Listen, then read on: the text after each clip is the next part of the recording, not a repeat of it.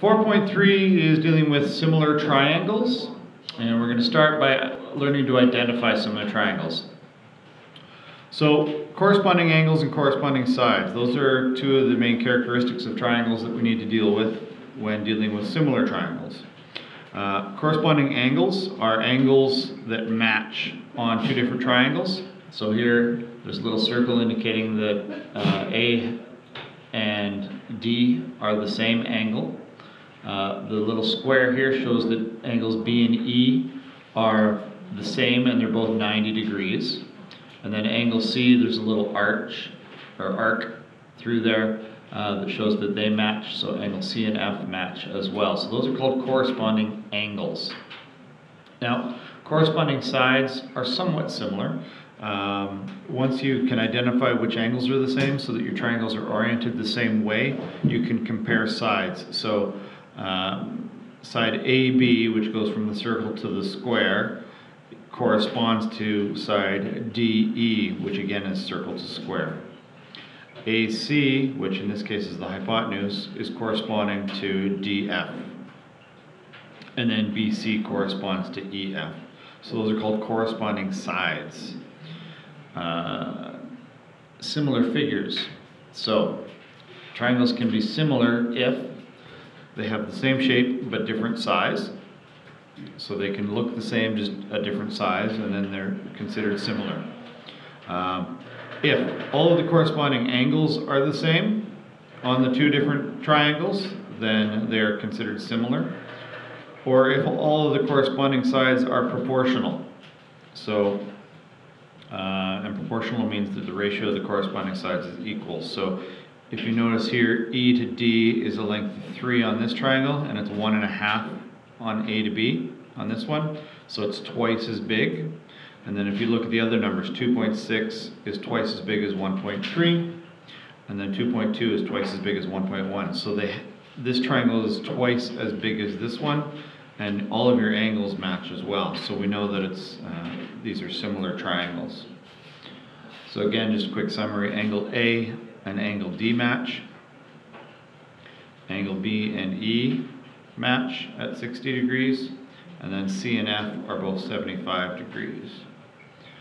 And as I said, uh, if you take AB and multiply it by 2, you get DE, and you can do that for all of the different sides. 2 is your scale factor from this to this triangle. So those are similar. Uh, so, knowing those characteristics, we can analyze a situation to see if one triangle is similar to another. And here's our first example of that. We've got triangle EFG. And this is how we identify a triangle. We can draw a little triangle and then label its vertices. And we're wondering if it is similar to triangle ABC. Now notice the E is the square corner, and that's the first letter listed. A also has a square corner and is the first angle listed. F is the 37 degrees and is the middle one. The middle one over here is the 37 degrees B, and then G is, and C are the last ones. So they're written in the same order to help identify uh, the similarity of the two triangles. So we can compare them. Angle A is 90 degrees. Angle E is 90 degrees. So they're the same. Angle B is 37 degrees. And angle F is 37 degrees. Now, we're not told what angle C is, but we can actually calculate it. All of the angles in a triangle, when you add them up, here, when you add them up, they need to total 180 degrees. Doesn't matter what triangle you're dealing with, all of the internal angles add up to 180 degrees. So, if the sum of all the angles in a, in a triangle is 180 degrees, to find one missing one, you can subtract the two that you know from 180 degrees, and then that will give you the third one. So in this case, uh, we can take 180, subtract the 37 that we know, subtract the 90 that we know, and then that will give us the remaining amount. And so in this case, that's going to be 53 degrees. 180 minus this 37 minus the 90 gives you 53 degrees. So this one here is 53 degrees. And we know that the angles are the same in this one, so we can say that that is also 53 degrees. Are the corresponding angles equal? Yes, they are. There is a match on each of them, two triangles. Um, now let's look at the corresponding sides. Uh, side AB has a length of 12. EF has a length of 4. So we can set up proportions here. And uh, when you do that, the 12 over 4, that's 12 divided by 4, is 3. So this one is three times as big as this one.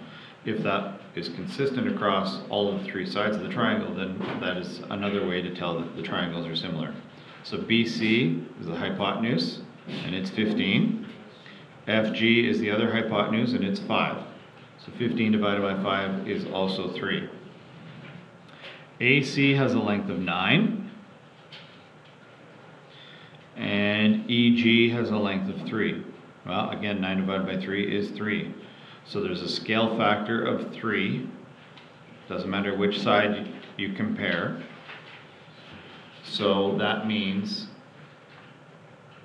that um, triangle EFG is similar. That's what this little tilde represents. It means it's similar to triangle ABC.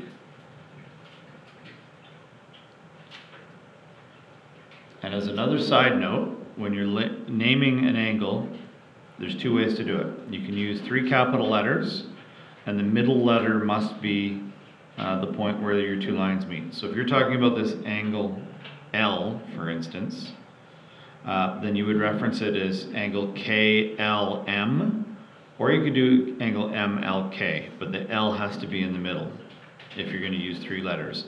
The other approach is just to call it angle L, as shown here. So you can have KLM or MLK, or just use the single letter.